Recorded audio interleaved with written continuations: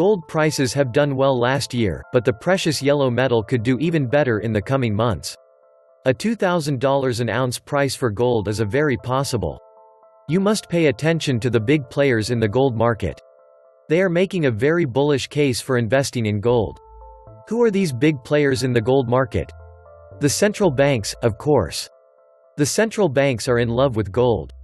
As things stand at present, central banks are in love with gold. They are buying gold more than ever before, and it doesn't seem like they will stop anytime soon. Here's some perspective. In 2019, central banks added 650.3 tons of the precious yellow metal to their reserves. This is a little shy of the 656.2 tons they purchased in 2018, but still a respectable amount. Looking at the bigger picture, the central banks have been net purchasers of gold for the last 10 consecutive years. Over this period, they bought 5,000 tons of the precious metal. I am also seeing China and Russia stacking tons of gold. Why? I believe they're sick of the US effing with their banking transactions and settlements. My bet is they will soon come out with a new gold-backed currency as an alternative to an increasingly fiat US dollar. Or something like that. These other countries are getting sick of the US sanction thing screwing with their trade and their economy. Why else would these countries be hoarding this much gold? One of these days, it will be China or Russia, setting the daily price of gold. As soon as they've loaded up with as much physical as can be found, they will crack the fake paper gold market wide open.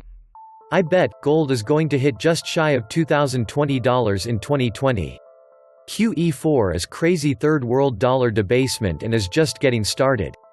Plus, you'll see even more central banks buying gold, but at some point, they'll put in a panic bid as global gold availability gets tight. The end game has started. Welcome to the Atlantis Report. The Western governments are terrified of gold to the point that their central banks are printing trillions of dollars to sink the gold, because if gold is traded the honest way in a real offer and demand formula, gold would be $50,000 per ounce and can wreck the fraud all Western countries have been committing on their citizens.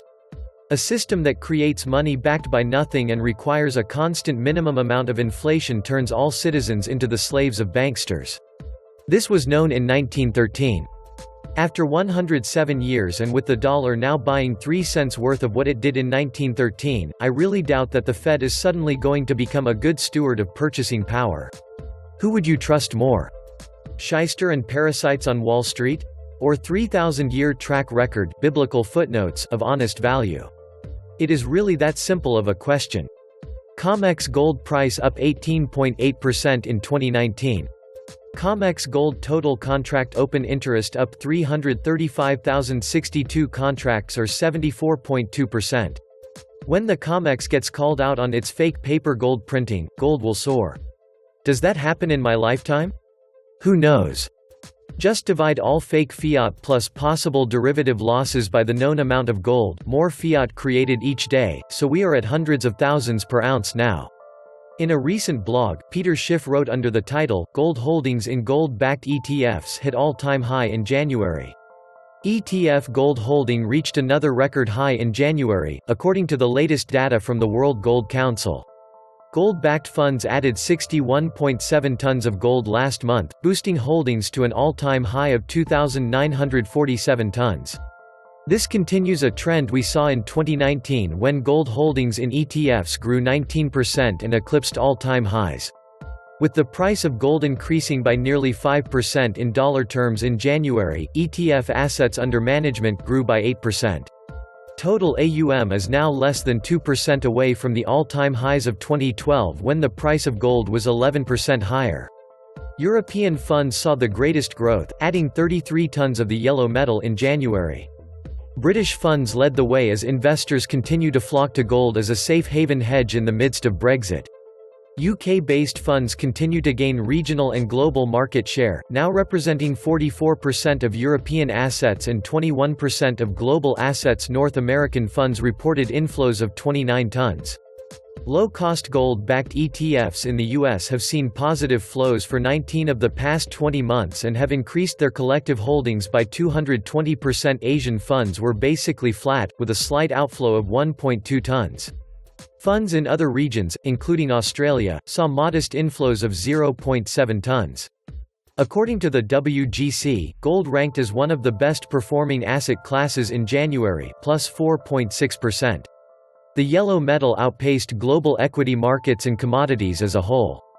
Worries about demand in China put a significant drag on oil prices. This drove the overall Bloomberg Commodity Index down by 7%. The WGC called this a clear example of gold's ability to separate itself from the broader commodity complex. A World Gold Council year-end report said the primary drivers for gold would likely remain in place in 2020. Including Federal Reserve intervention in the repo markets and what is in effect quantitative easing, continued trade tensions between the US and China, and surprisingly low yields in speculative corporate debt. Inflows of gold into ETFs are significant in their effect on the world gold market, pushing overall demand higher. The system is intentionally convoluted so they can print without concern. This has been obvious since we were forced to leave the gold standard because we didn't have enough gold to back up all our dollars. The thing to remember about the price of gold is that the only fair comparison is with the price value of paper money. Eventually, paper money will come to be worth whatever backs it, and whatever backs it is basically nothing. Forget about gold for a minute. Look at other items. A loaf of supermarket bread is now $3 per loaf. In 2030 will that more likely be $6 per loaf, or $1.50 per loaf? Gasoline, now $3 per gallon. In 2030, will it be $1.50 per gallon in 2030, or more likely $6 per gallon? Local DMV, government driver's license renewal fee, now $34 was $20 last time I renewed it. Will that be higher or lower in 10 years? The Fed has given us stealth inflation, which corrupt corporate media will not be allowed to talk about. The Fed is going to give us a lot more inflation in the next 10 years. Gold is insurance against tail risk. It is not an investment. And yeah, like other insurance, it is possible it won't pay off. The conditions that would have to exist that it won't pay off are catastrophic. You will be worried about eating and staying alive. The utility is not as low as scrip, fiat. Yearly gold mined is about 400 million ounces per year. You need only look at one, yes, just one stat to understand what's up with the quoted price of gold. So, you tell me. The CME, the gold futures market, has 8 million ounces in their vault for delivery. That means anyone who wants to close out their quarterly contracts in receipt of gold can do so, and these 8 million ounces is the guarantee you can be paid in gold. Got that so far? The CME Gold Futures trades about 300,000 gold contracts every day. Yay! You heard that right. CME Group averaged 18.2 million contracts per day in November 2019. At 100 ounces per contract multiplied by 300,000, that comes out to 30 million ounces of gold being traded every day on the CME. There are supposedly only about 6 billion ounces available, on the planet at any given time for purchase. Cough. There. I think I got that right now. If you want to settle in gold, you are sent to the Swiss and London to close out your position and receive your physical. For the last two years, the CME claims that they have delivered 14,000 tons of gold, yay, you heard that number right too. 14,000 tons for delivery. Keep in mind the U.S. government claims, cough, to have 8,000 tons in Fort Knox. But the CME claims they delivered twice that amount. 14,000 tons in the last two years. Somebody pull on his leg, mine is long enough. If you total up the M2 money supply and outstanding credit and then divide by the number of ounces held by the U.S. Treasury and Fed, you get somewhere around $66,000 per ounce. Roughly 40 times where gold is today. You don't have to believe in gold. But what I want to point out to you is that if there is a currency reset, and if everything goes to hell, it is possible to see gold go up to 40x. This means that if you invest just 2.5% of your portfolio in gold, you can have 100% protection for all your assets if everything goes belly up. Just 2.5%. And that's if all your other stocks, bonds, real estate, etc. went to zero, which won't happen.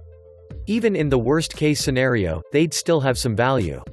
So even just 2% in gold, would probably still protect you 100%. Why wouldn't you buy just 2% in gold and be able to feel insured about disaster? Even if it turns out nothing happens, your portfolio will still capture 98% of the gains that it otherwise would have. Gold is such dirt cheap insurance right now that it makes absolutely no sense to own at least a little bit. And of course, the US government will still be claiming to hold some physical, but it was 50 years since the last real audit. Nobody believes they still have 10,000 tons of it. I bet they don't even have 1,000 tons left. When Nixon took us off the gold standard in 1971, gold was officially $35 an ounce. At the approximate current price of gold at $1,550, this would mean a compounded rate of approximately 8.1% for 48 years and 5 months. Based on $1,550, the dollar has lost 97.7% of its value against gold. If gold went to $2,000, the compounded rate would be almost 8.71% and a loss of 98.3% for the dollar. When Nixon took us off the gold standard in 1971, silver was officially $1.59 an ounce. At the approximate current price of silver at $18, this would mean an approximate compounded rate of 5.14% for 48 years and 5 months. Based on $18, the dollar has lost approximately 91.2% of its value against silver.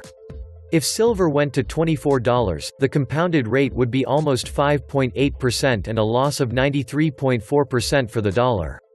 Also, silver serves two roles, one monetary and the other industrial. The precious metals is qualify for capital gains if you should desire paper. Gold and silver have no counter liability. All paper does. An inflation calculator at saving.org shows that the precious metals is beat inflation as follows. Gold beat inflation by over 600%. Silver beat inflation by over 79%. Fiat currency always eventually returns to its intrinsic value zero, said Voltaire. I stack for when I am old. I hope I never have to spend any of my precious metals. But when I weigh precious metals against fiat, precious metals win every single time. Paper is just that, paper. Same for electronic digits. Both can go poof. Precious metals? Meh. Been used for 5,000 years. Good enough for me. Even the GLD, paper, is nothing more than a title to physical gold that has been hypothecated 5 to 10-fold the annual mine yields. Per the investment agreement, most people that purchase GLD are not allowed to take delivery. Those that are barely qualified for delivery get the run around to try and stop them from taking delivery. What physical there is, is reserved for the fat cats. Your small pile of cash just helps make their physical pile bigger and keeps you from visiting your LCS or online supplier. Win, win for them. Remember, if you don't hold it, you don't own it. This was the Atlantis Report. Please like, share, and subscribe. Thank you.